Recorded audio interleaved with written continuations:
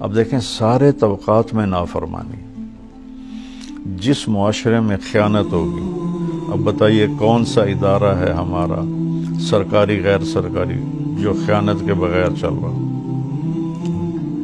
जिस मुआरे में झूठ हो, कहाँ है जहाँ झूठ नहीं बोला जाओ जिस मुआरे में जुल्म हो, ऐसा जुल्म तो मेरी सत्तर साल उम्र हो रही, ऐसा जुल्म मैंने तो आज तक नहीं देखा।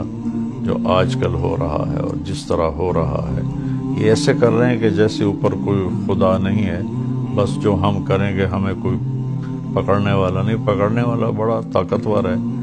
कदाली का अख्त रब का इदा अखदल वही और फिर इसी तरह तेरे रब की पकड़ आती है, जब वो पकड़ता है उन शहर वालों को जो जालिम होते हैं, वही ालिम वो जालिम होते हैं। अवाम भी जालिम।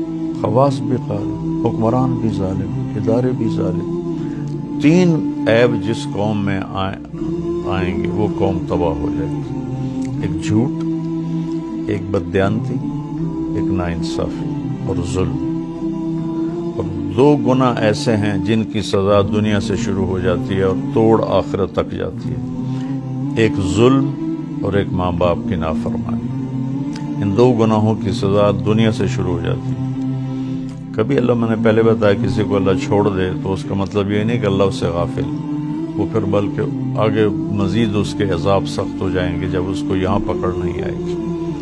और जिस कौम में सच्चाई हो, दयानतदारी हो और इंसाफ हो, इस कौम पे जवाल नहीं आ सकता चाहे अल्लाह का इनकार कर। एथियस्ट हो जाए, अल्लाह के मुनकर हो जाए।